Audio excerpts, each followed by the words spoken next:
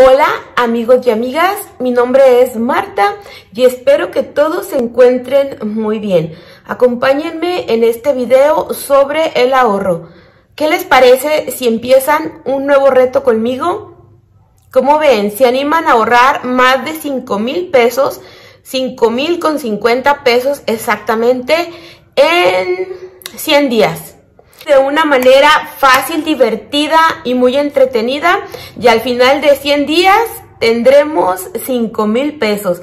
Como ven, si se animan, no se pierdan este video. ¿Qué les parece si primero me acompañan a terminar el reto que tengo pendiente para iniciar juntos el que sigue? Miren, aquí está donde ya nada más me falta depositar 71 y se los acabo de poner aquí al bote.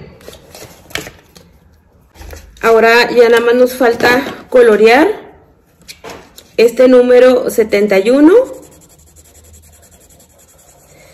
Aquí está listo y ya quedó lleno todo mi toda mi hojita. Una vez que ya llené este, también lo voy a tachar de aquí.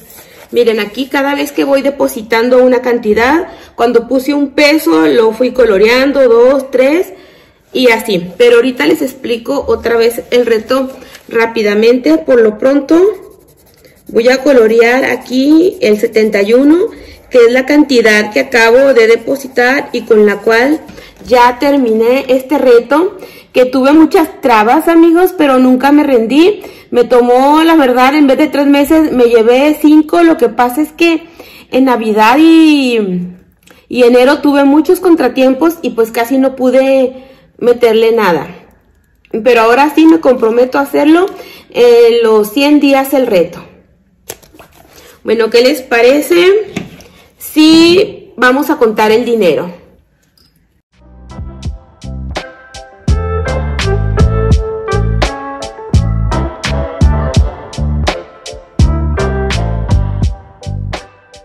Vamos a contar el dinero que junté. Vamos a poner primero los de 500, los de 200, el de 100, el de 20, el de 20 y los de 500. 1000, 2000, 3000, 4500. 500 van 5 mil pesos. 20, 30, 40, 50.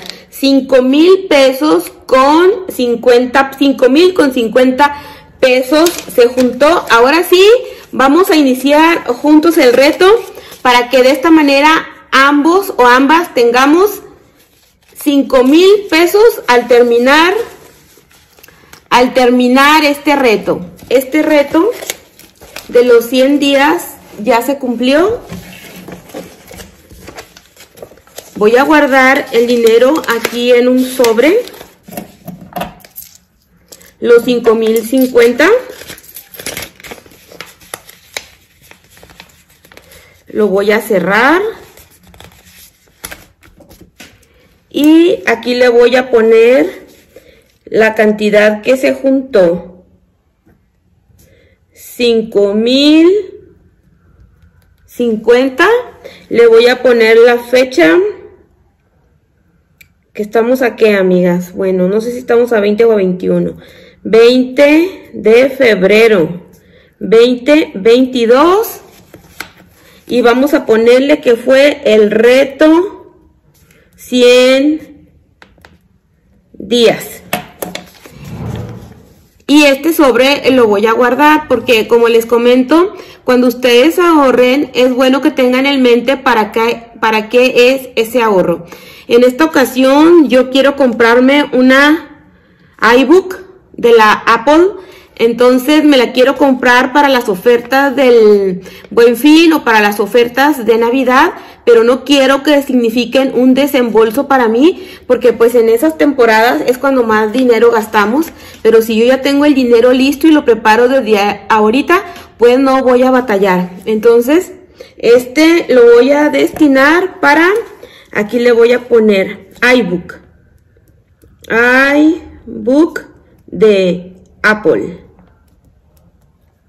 iBook, no. Ay amigos, discúlpenme si se llama iBook, iMac. La verdad no me acuerdo. Pero bueno, es una computadora de esas portátiles. Que normalmente valen como 25 mil, 26 mil pesos. Pero bueno, aquí ya llevo 5 mil pesos menos, ¿verdad? Que ya llevo juntada para mi computadora. El siguiente paso es que vamos a elaborar otra tarjetita como esta, porque esta ya se terminó, vamos a empezar a hacer otra. Yo voy a elaborar mi cuadrito usando un folder. Tú puedes usar una cartulina que ya tengas o un folder que esté usado o lo puedes hacer en papel. Voy a usar el cuadrito anterior para tomar las mismas medidas y pues ya no estar batallando. Ahora lo voy a recortar. Y ahora vamos a marcarle lo que son las líneas. Primero se las pinté con lápiz para no batallar y ya ahorita le estoy pasando un marcador porque quiero tener cinco digo 100 cuadritos.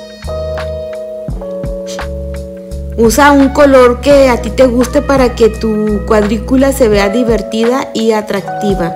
Ahora a cada cuadrito le voy a poner un número. Como aquí empiezo 1, 2, 3, 4, 5, 6, 7 y así me voy a seguir hasta llegar al número 100.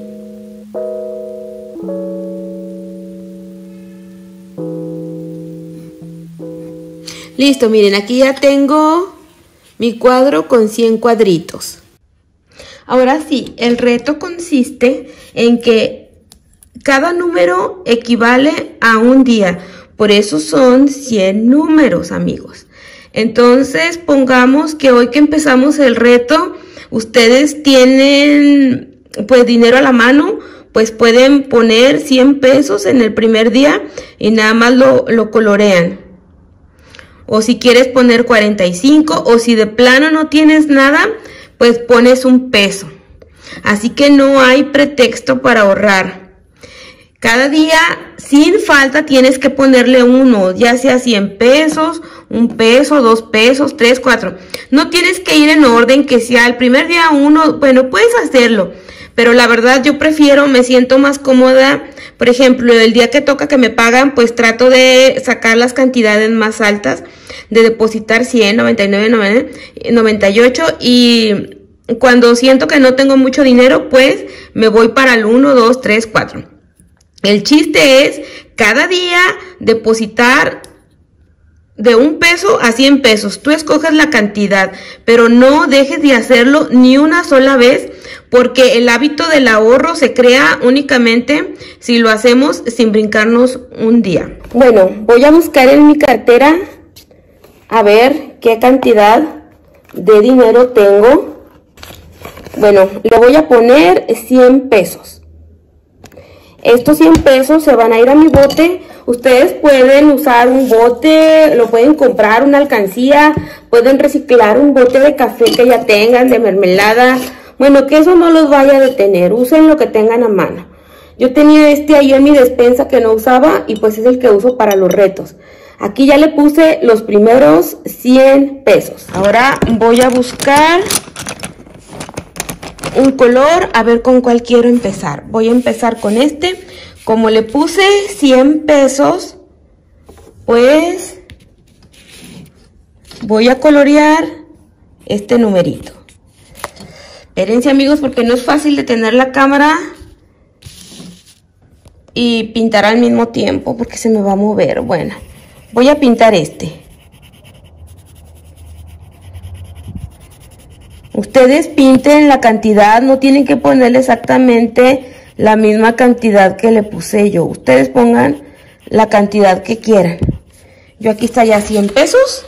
Si mañana le llegase a poner 21 pesos, pues coloreo el 21. Si otro día le pongo 13, coloreo el 13. Y una vez pasados 100 días voy a tener todo coloreado así como este. Y en el momento que ustedes lo tengan todo pintado, pues van a haber ahorrado la cantidad de 5050. No olviden, este reto es el reto de los 100 días. Es un reto divertido y que nos va a hacer ahorrar bastante dinero. Así que como ven amigos, amigas, ¿se animan a ahorrar conmigo? El reto del ahorro es un buen hábito que estamos creando en nuestros hijos y en nosotros mismos amigos. Porque la mayoría de ese dinero se nos va en gastos hormiga, en comida chatarra, que de todos modos no le vamos a sacar ningún provecho. Como ven, aquí tengo yo ya mi primer sobre. Ahorita lo voy a cerrar y lo voy a guardar. Lo pueden meter al banco y pues ahí va a estar muy bien cuidadito. O ustedes saben, ¿verdad? Yo por lo pronto aquí lo voy a poner. Y en, a final de, de este año, para el buen fin, voy a juntar para lo que es mi meta de comprarme mi, mi iBook. Creo que así se llama.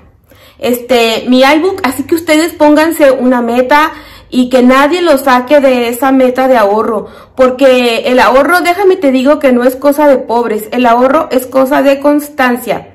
Hasta las personas más ricas, si no ahorran, se van a la quiebra. ¿Cuántos artistas hay que vivieron en la opulencia y con mucho dinero y sin embargo terminan el final de sus días en la pobreza total pidiendo dinero porque no ahorraron nada. Así que el ahorro no es para pobres ni para gente que no tiene dinero, sino al contrario, porque el que ahorra es el que logra triunfar y logra conseguir todas sus metas. Bueno, me despido de ustedes, acompáñenme, coméntenme en comentarios que se van a unir, al reto para así estar más motivados todos y yo saber que no voy sola en este reto. Muchas bendiciones para todos mis bellos y bellas suscriptoras. Regálenme un like como señal de apoyo. Bendiciones para todos y nos vemos en el siguiente video.